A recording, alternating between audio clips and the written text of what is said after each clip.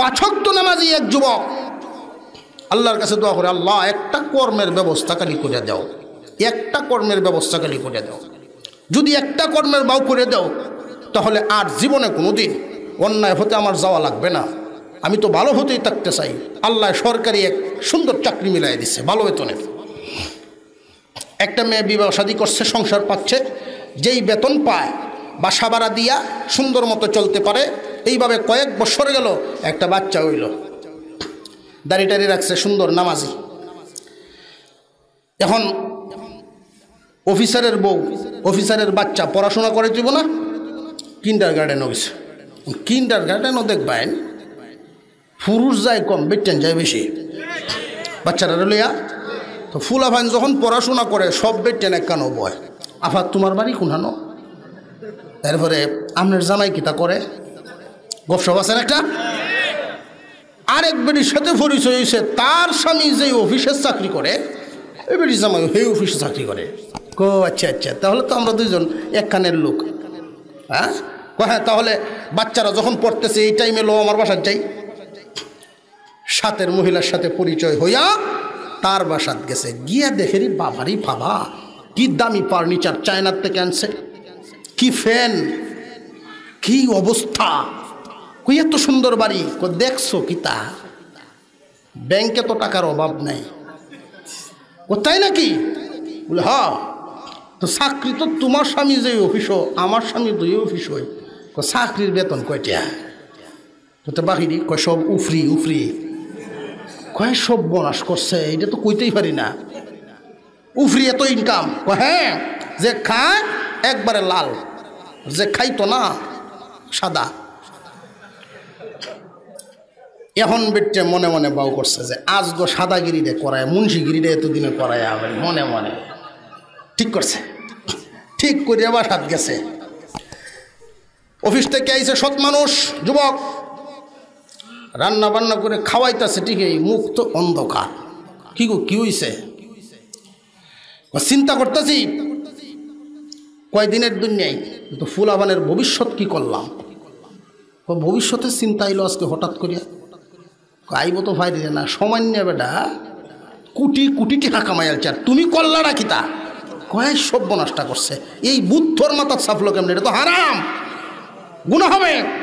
যত গুণা সবটি আমারে দেলাইও।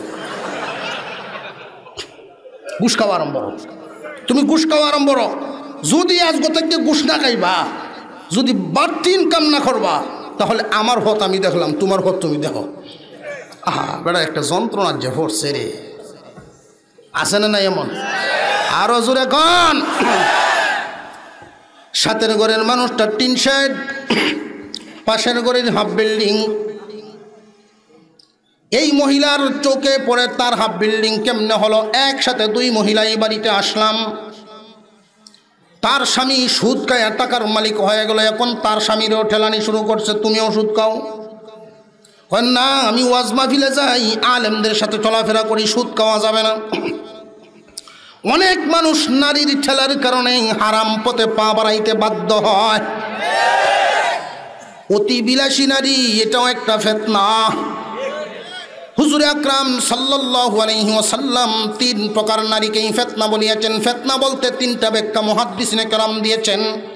যে সমস্ত নারীর কারণে সমাজে ঝগড়া সংগঠিত হয়, এটা এক নাম্বার কারণ। দুই নাম্বার, যে সমস্ত নারীর কারণে আমার উম্মত গুণাগার হয়, এটা দুই নাম্বার কারণ। তিন নাম্বার কারণ, যে সমস্ত নারীরা উচ্চবিলাসী হয়, তাদের কারণে যুবকেরা আমার উম্মত গুনার দিকে দাবিত হয়। তিনটা কারণ বাহির করা হয়েছে। আর যদি নেককার হয়, তাহলে কিন্তু এর উল্টা হবে।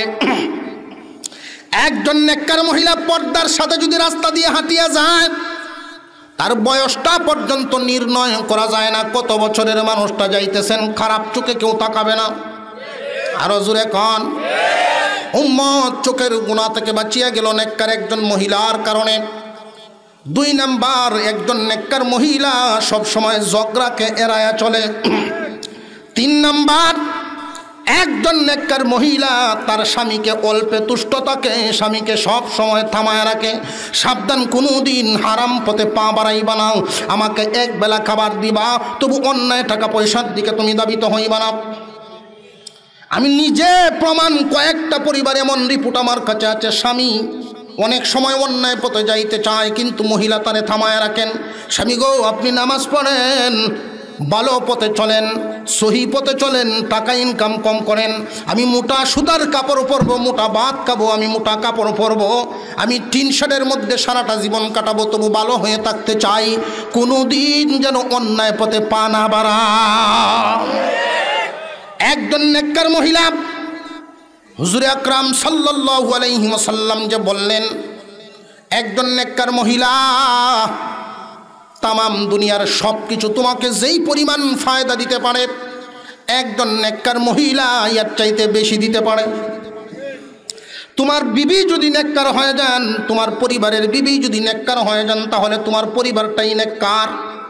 আর বিবি যদি দুনিয়াদার, তাহলে কিন্তু তোমার শেষ এই দুনিয়ার জমিনটাই জাহান্নাম হয়ে যায়। একজন নেককার মহিলার একটা ঘটনা শোনাই মোটামুটি শেষের দিকে যাব, খুব কান পেতে শুনবেন। এই নেককার মহিলা একজন, যদি একজন মানুষের জীবনে কোনো নেককার মহিলা কোনো পরিবারে ঢুকে, ওই একজন মহিলার উসিলা খারাপ মানুষ পর্যন্ত ভালো মানুষে পরিণত হয়। খুব ধনী বাবার পুত। ধনী বাপের সন্তান। এরপরে আমি আরেকটা কথা বলিনি আমরা তো মেয়ে হইলে খুব রাগ হই। রাগ হই না? মাথাটা লড়ায় অনেকই যদি ছেলে হয়, খুশি টেলায় ছেলেটা, সাসা! আপনার বায়ু হইছে বেটা, আপনার বায়ু হইছে। খুশি। আর যদি মেয়ে ওই সাসা, জিগায়, কিরে কিতা খবর সবর, শুনলাম না। ওইছে। ফিতলা হয়েছে বোঝা যায়। হুজুর আকরাম সাল্লাল্লাহু আলাইহি ওয়াসাল্লাম বলেন, আমার উম্মত, যেই করে মেয়ে সন্তান জন্ম নিবে, যেই করে মেয়ে সন্তান জন্ম নিবে, একদল ফেরেশতা নাজিল হয়। ওই ফেরেশতার আইসার ডাকাডাকি করতে থাকে, তোমরা কারা গো? একজন দুর্বলের ঘরে আর একজন দুর্বলের জন্ম হলো। যারা এর দেখাশোনা করবে, আল্লাহ পাক রব্বুল আলামিন আসমান থেকে রহমত নাজিল করবেন। তিন বাবা, তিন মেয়ের বাবা, তিনটা মেয়ের বাবাকে আল্লাহ পাক রব্বুল আলমিন জান্নাত দিবেন। ছেলে দশটা হইলেও জান্নাত হবে, এই কথা নাই। তিনটা মেয়ে হইলেই আল্লাহ পাক রব্বুল আলমিন জান্নাত দিবেন। এমনকি নেককার মেয়ে যদি একটাও বানাতে পারো, এই উসিলায় আল্লাহ পাক তোমার জান্নাত দিয়ে দিবেন। বর্তমান জামানায় অনেক মানুষের প্রশ্ন হলো তিনটা মেয়ে লালন পালন করলে এত জান্নাত ওই তুই, কারণ জাহান জাহান্নাম দুর্নীতি রে। জাহান্নাম যাও, এবার তো দুর্নীতি শেষ। তিন মেয়ে লালন পালন করলে মিনিমাম দশ লাখ টাকা দরকার। বে দিলে?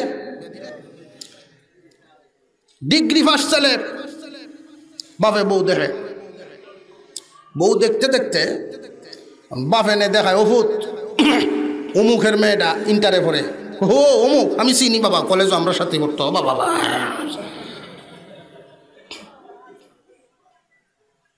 কোথায় ডিগ্রি পাস? বাবা মাপসায় সমস্যা। এত জানার না সব, চিনা পরিচয় আছে। আট দশটা বিয়া দেখাইছে এখন যখন বউ পছন্দই হয় না বাপে গুসায় কয়, তোর বিয়া বেটা তুই পছন্দ হয়ে রইল, আমি আর করতাম না। বাড়ি তাইয়া বউর টেলা ধরাইছে। তোমার হুতের বিয়া, আমি করে দিতাম না। তোমার হুত কইল কেরে এটা আমরা পুরুষের স্বভাব। বেড়ানের একটা স্বভাব আছে। যদি ছেলের কোনো সুনাম হয় ভাই সাহ ধরুন যে মেট্রিকে, এ প্লাস পাইছে আমার হুত হাফেজ হয়েছে আমার হুত আমার হুত আর যদি কেউ বিচার দেয় মিয়া, তোমার ছেলেরা তিন রাস্তার মোরকার হয়ে সুরট টানে বেটা শুনছে, শুনে বাড়ি গিয়ে কয় তোর সেরা? জোরে কোন ঠিক কিনা?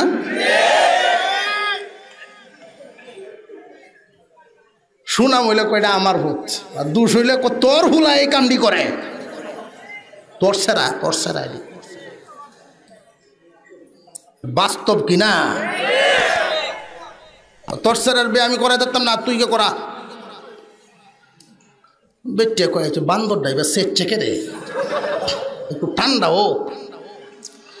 কয়েকদিন পরে ছেলে আয়া কইল, আম্মা, আব্বারে কো একটা বউ পছন্দ হয়েছে কেলা? যে অমুক ফাড়ার অমুকের মেয়ে গরিব হইলেও বউ পছন্দ হয়েছে কেন পছন্দ হয়েছে বাপে কুচকবর লইয়া বাড়িতে কইতেছে, আমি এই বাড়ির প্রস্তাব লইয়া যাইতাম না। যে কেল লাগিন? যে তোমার চেহারাটা কি জাতের? এই চেহারা লইয়া এই মেয়ের জন্য বিয়ার প্রস্তাব দেওয়া যাবে না। আর মেয়ে মহিলা মাঝে ছাত্রী। আর তুমি জুতার মুড়া বানায় তুইছ যদি প্রস্তাব লইয়া যাওন লাগে, আগে তিন চিল্লা দিয়ে সাইজ হইয়া মেয়ের বিয়ে দে, বিয়ের প্রস্তাব দেওয়ারই সাহস পায় না। মোটর সাইকেল সাইব কুম্বালা। কথা বুঝাইছে? মানে আপনি যদি মেয়ের জিন্সের ফ্যান্ট ফিন দেয় তারাইল বাজারে ঘুরাইন তিন লাখ করে আট লাখ হসু চাইতারে। এটা আপনার কারণে। যৌতুক এটা আপনার কারণে। আদর্শবান মেয়ে বানান, ইনশাল্লাহ ইজ্জতের সাথে আপনার বাড়ি থেকে নিয়ে যাবে।